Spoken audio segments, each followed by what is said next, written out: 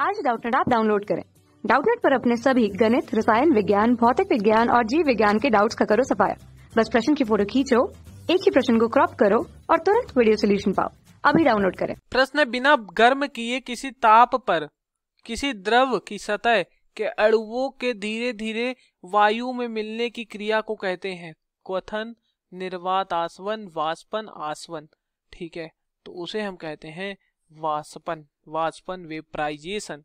Vaporisation क्या होता है, जरा समझ लेते हैं। जैसे इसमें जल है, ठीक है? जैसे जल है, ठीक? अब मैं आपको बता दूँ कि जल को आप धूप में रख दो। क्या रख दो? धूप में जल को रख दो।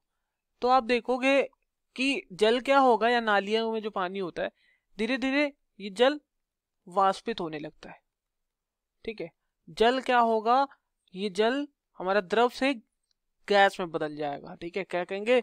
ये द्रव है, गैस में बदल जाएगा। अभी ये द्रव है, जैसे इसे थोड़ा सा तापमान बढ़ा मतलब वायु में, ठीक? तो ये क्या मतलब सूर्य की रोशनी इस पर पड़ी, ज़्यादा धूप आ गई तो क्या होगा? ये तुरंत गैस में परिवर्तित हो जाएगा धीरे धीरे ये वाष्प हो जाएगी, वाष्पित हो जाएगा। तो ये द्रव का गैस में बदलना ठीक है? सबसे पहले क्या होगा? जो सबसे पहले ऊपर वाली सरफेस होगी, ठीक है? तो इस पे सबसे पहले धूप पड़ेगी। मतलब कहने का मतलब सबसे पहले ऊष्मा इस पे पड़ेगी।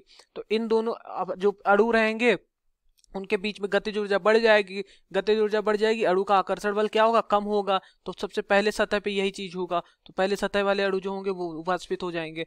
फिर मतलब ऊपर चले जाएँगे, गैस में बदल जाएँगे। फिर नीचे वाले, इस तरह से पहला वाला जो सरफेस होगा, पहला वाला जो सतह होगा, वो कोई ऊष्मा ट्रांसफ़र कर देगा हीट ट्रांसफ़र कर देगा दूसरी वाली सतह को, ठीक है?